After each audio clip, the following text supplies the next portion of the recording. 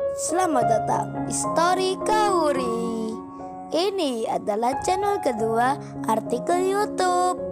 Jangan lupa subscribe ya guys dan tekan notifikasinya. Kisah pemuda kaya, anak bos besar, pemilik 73 perusahaan yang menjadi cleaning service. Episode 156. Detik-detik pagi menjelang dari gelap menjadi terang. Kenshin dan Kauri, dua insan yang berbeda rumah, bangun di waktu yang sama. Dengan memegang handphone, melihat layar, duduk di tempat tidur. Kauri terbangun tepat jam 5 pagi. Sebelum beranjak ke kamar mandi, ia menulis pesan, pesan balasan untuk Kenshin, yang tadi malam menanyakan, kapan acara nikah temannya, digelar. Kauri itu menulis, dengan membuka salam, ucapan selamat pagi, Lalu ia melanjutkan, jika acaranya akan dilaksanakan tiga hari lagi, tepatnya tanggal 17, di hari Sabtu, di waktu malam. Kauri pun menulis alamatnya, di gedung ternama, acara itu akan digelar. Namun, di pesan balasan itu, Kauri masih saja tak bicara langsung, mengutarakan maksudnya. Pesan pun terkirim, karena di saat yang sama, Kenshin sedang memegang handphone pula. Ia pun langsung membacanya. Setelah itu, dengan segera, ia membalas. Oke makasih, atas infonya ya. Selamat pagi juga. Kenshin menulis singkat, hingga Kauri jadi bertanya. Kok gini sih jawabnya? Apa kagak ada lanjutannya? Masa gitu aja? Kauri bicara sendiri, seakan gak mau menerima.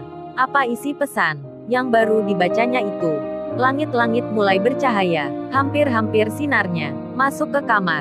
Ririn bersiap akan kerja. Sudah seminggu lebih, ia tak mengetahui akan kabar Kenshin. Ririn tiba-tiba teringat di pagi ini. Apalagi semenjak Rena, kerja pula di tempatnya. Waktu berlalu, sudah terlewat beberapa minggu. Perusahaan yang bermasalah itu, kini berangsur-angsur membaik. Matsuka dan Wendy, yang tak lain sepasang kekasih. Anak pemilik perusahaan yang sebelumnya, yang berkonspirasi untuk korupsi, merugikan banyak materi, dari perusahaan milik ayahnya Kenshin. Di hari ini, mereka menjalani tuntutan hukum dikarenakan perbuatan yang secara disengaja menabrak Kenshin di tempo hari. Sidang pertama pun digelar. Kenshin dan Iwan pun dipanggil untuk menjadi saksi, sekaligus menjadi korban atas perbuatan mereka. Tentu saja, pengacara terkenal yang tak lain Bung Hotman menjadi pendampingnya. Sirena sendiri sang pemilik restoran.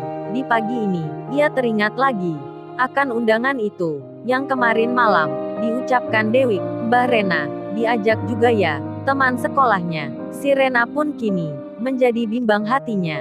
Akankah dirinya, meminta Kenshin, untuk menemaninya, hadir di acara nikahan itu? Lalu Rena terbayang lagi, akan masa yang sudah berlalu.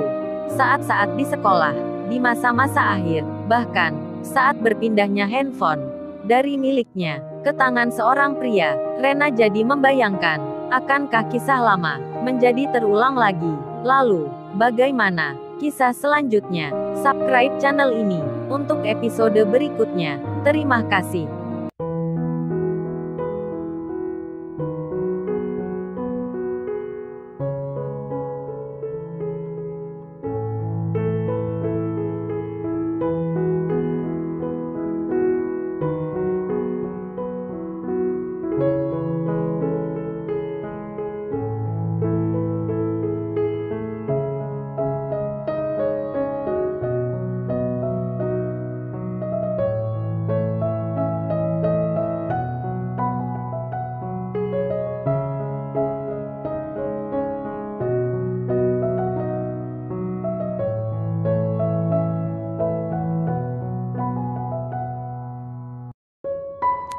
Jangan lupa ya guys, untuk kelanjutan ceritanya ada di channel Story Kauri.